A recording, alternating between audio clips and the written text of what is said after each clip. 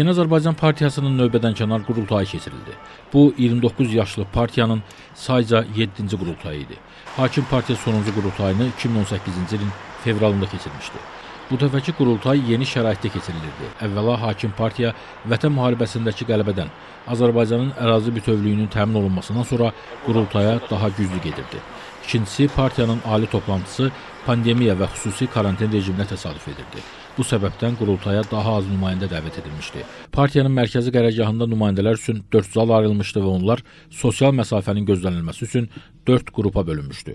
Qurultay jurnalistlər üçün qapalı keçirilirdi. Qurultayı Azərbaycan prezidenti, YAP sədri İlham Əliyev açdı. Daha sonra ötən dövrdə partiyanın fəaliyyəti ilə bağlı hesabatlar dinlənildi, müzakirələr aparıldı. Çoxlarını maraqlandıran məsələ hakim partiyanın rəhbər strukturlarının formalaşdırılması idi. Qurultay partiyanın 29 ildir mövcud olan siyasi şurasını ləğv etdi. Əvəzində idarə heyətinin üzvlərinin sayı 20-dən 40-a çatdırıldı. İdarə heyətinə yeni seçilən üzvlərin əksəriyyəti parlamentin deputatlarıdır. İdarə tezləri seçildi yeni, bəli. Çox adamlar oradan getdi, çox adamlar gəldi, yeniliklər oldu. Yeni Azərbaycan Partiyası hakim partiyadır, iqtidar partiyasıdır. Bugünkü qurultayda çox yüksək səviyyədə keçdi. Nə üçün?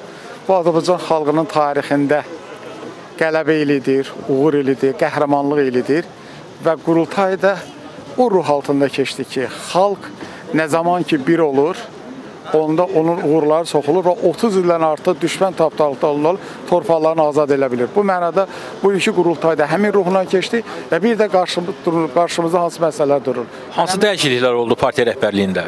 E, partiya rəhbərliyində təbii ki, idarə heyətinə bağlı deyə bilərəm. Əvvəl 20 nəfər isə 40 nəfər oldu. Partiya nizamnaməsinə bağlı, yəni yeni nizamnamə qəbul oldu. Bu da partiyanın qarşısına hansı məsələlər qoyulur və necə həll olunmalıdır, o istiqamətdə işlər gedəcək.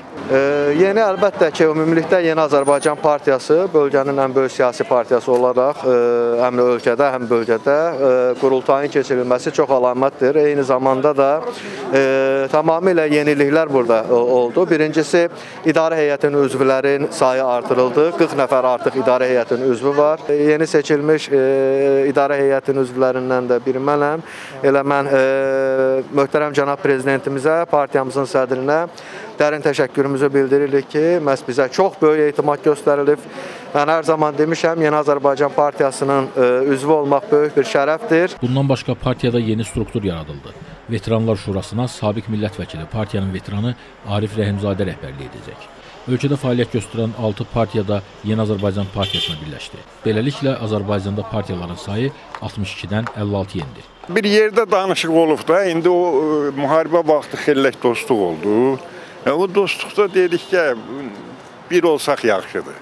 İnşallah. Bu ümummilli məsələlərin həllində bir nömrəli məsələ bir də bir yerdə olmaqdır. Yaxın günlərdə YAP-ın yeni idarə heyətinin ilk iclasının keçiriləcəyi gözlənilir. İclasda partiya sədrinin müavinləri seçiləcək və təşkilati məsələlərə baxılacaq.